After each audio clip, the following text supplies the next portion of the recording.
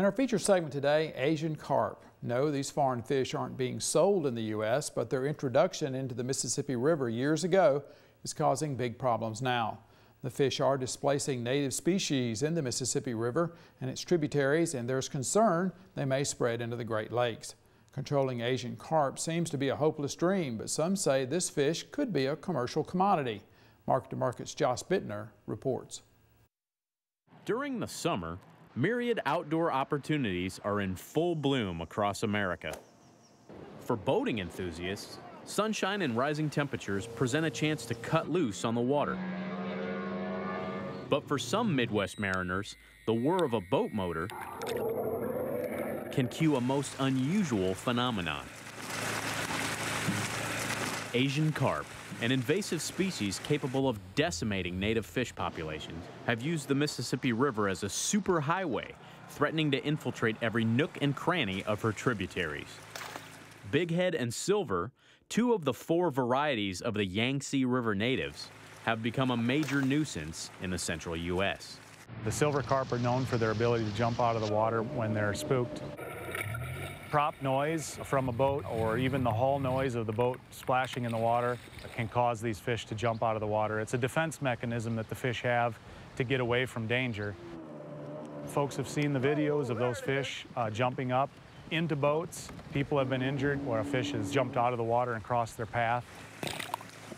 Imported to clean algae from Arkansas catfish farms in the 1970s, these malign fish revered in Asian culture as symbols of hard work and perseverance, escaped, due to flooding, into nearby waterways, meandering into the Mississippi River. Over the years, their numbers have grown into a massive horde. The carp are prolific breeders. One female can hatch up to 4 million eggs per year. They eat constantly, they can double their weight in a week. There aren't any natural predators that eat them when they're small because they grow too fast. Ironically, silver carp pose their greatest threat to people during their smaller juvenile stage of development. Biologists assure the fish are no longer prone to jump once they weigh over 10 pounds. Their diet, however, is another matter. So this is a silver carp. They get much bigger than this. They filter the water for zooplankton, which is a critical food link for most of our native fish. The Illinois River has borne the brunt of Asian carp. The aquatic barbarians are now storming the gates of Lake Michigan via the Chicago Sanitary and Ship Canal, which connects the two bodies of water. Though the fish are known for spawning in rivers as opposed to lake environments, the federal government isn't willing to play that hunch.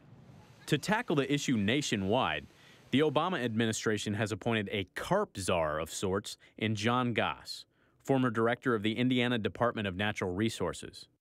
Goss's own state has fielded similar threats in the Wabash River, which connects to Lake Erie. The centerpiece for deterrence is an electrical barrier in Chicago.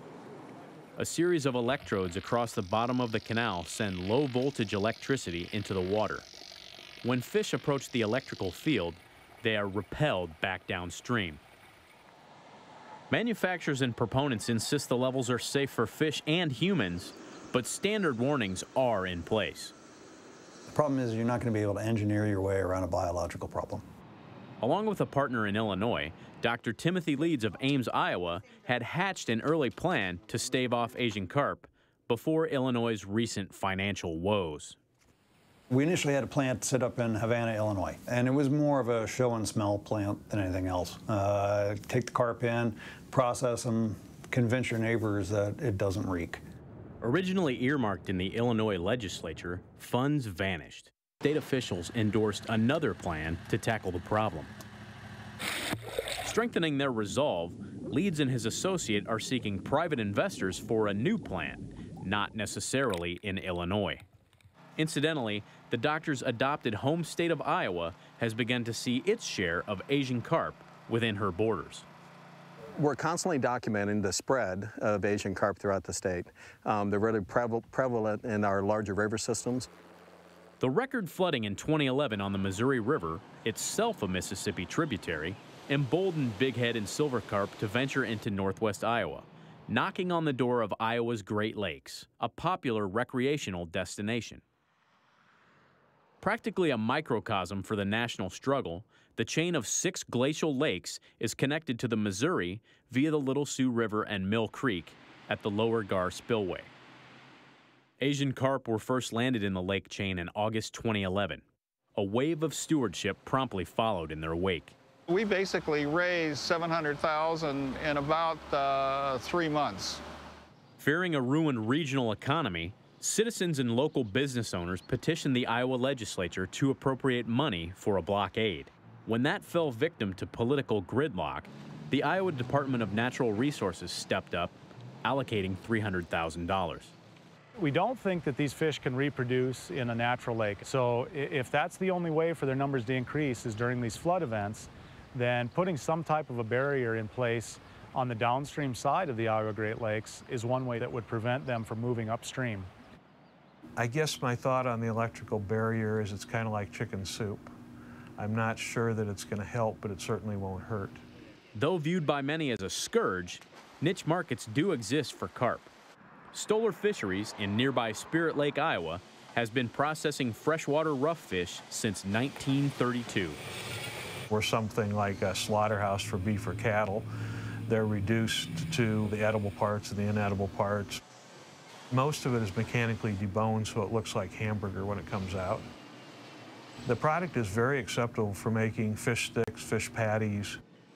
Our primary customers are in the kosher industry. They're making a Jewish traditional product called gefilte fish. Should bighead or silver carp gain a foothold in Iowa's Great Lakes, Stoller assures they are set up to handle an onslaught. We are set up. In fact, we've been processing Asian carp from the Illinois area for probably five or six years. If there were fish in these lakes, we would process them, yes, but we're not welcoming them into the area. On the positive side, silver carp and bighead carp are very good to eat. The common carp that have been here since the 1880s. They're mucking up on the bottom. These don't. They're eating the same thing that really salmon eats.